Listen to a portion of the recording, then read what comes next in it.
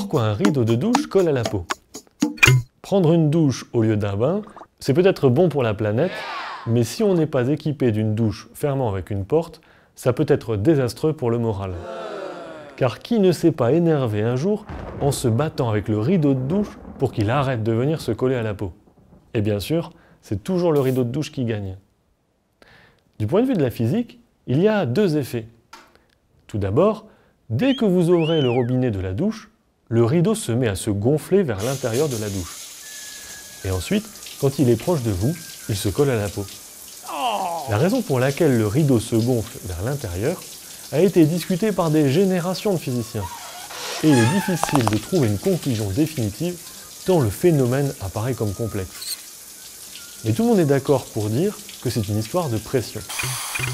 La pression de l'air à l'intérieur de la douche diminue, et comme l'air a toujours tendance à se déplacer vers les zones de basse pression, l'air extérieur se déplace vers l'intérieur en entraînant le rideau de douche par la même occasion.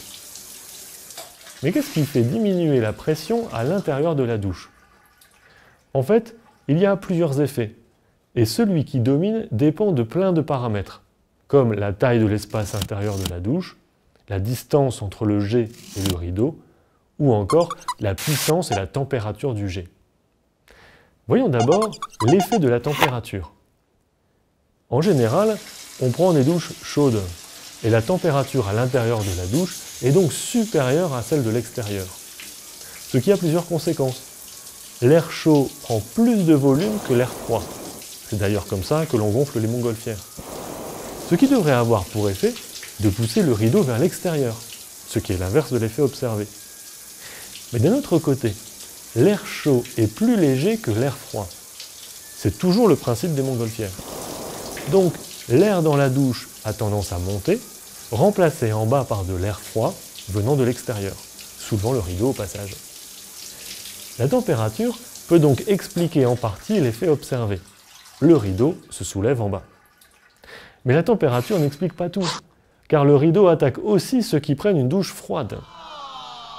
Il y a un autre effet important, dû cette fois à la puissance du jet. L'eau, en se déplaçant, entraîne l'air, créant un courant d'air descendant.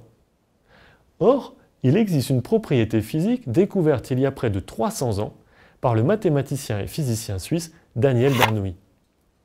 Le principe de Bernoulli nous dit que l'augmentation de la vitesse de l'air se traduit par une diminution de sa pression. Plus le jet d'air est rapide, plus la pression dans la cabine de douche est faible, et plus le rideau de douche sera poussé vers l'intérieur par l'air extérieur. Mais ce n'est pas tout. En 2001, un physicien américain, David Schmidt, s'est attaqué au problème à bras le corps, utilisant de puissants ordinateurs pour réaliser une simulation des mouvements de l'air dans la cabine de douche. Le résultat est surprenant. Il a découvert qu'il se formait en haut de la cabine un tourbillon d'air avec une forte dépression au centre, exactement comme dans un cyclone ou une dépression atmosphérique. Et le résultat est toujours le même.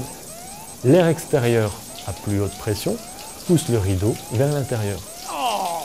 En 2001, David Schmidt reçut pour ses remarquables résultats le prix Ig Nobel de physique. Le prix Ig Nobel récompense tous les ans des résultats de recherche improbables, qui, selon leur devise, fait d'abord rire les gens, puis les fait réfléchir. Tout cela est bien beau, mais David Schmidt a oublié un point important dans ses simulations. Il y a quelqu'un dans la douche car tous les effets que nous venons de décrire sont fortement perturbés par la présence d'un individu essayant de repousser le rideau qui se rapproche dangereusement de lui, et finit d'ailleurs par se coller à lui à cause de la tension de surface de l'eau. Mais ça, c'est une autre histoire.